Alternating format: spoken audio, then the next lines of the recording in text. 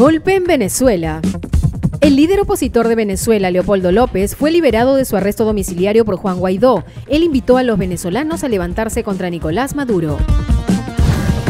Cobrará el asilo.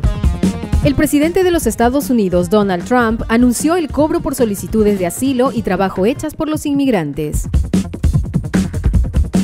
Mantiene la neutralidad.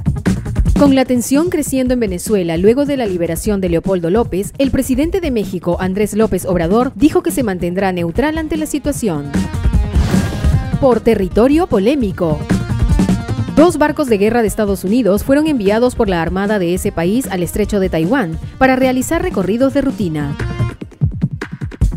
llama a la liberación. Ya no estamos viendo solamente a Juan Guaidó actuando como presidente de la Asamblea Nacional, sino en esta ocasión actuando como comandante en jefe de la Fuerza Armada venezolana.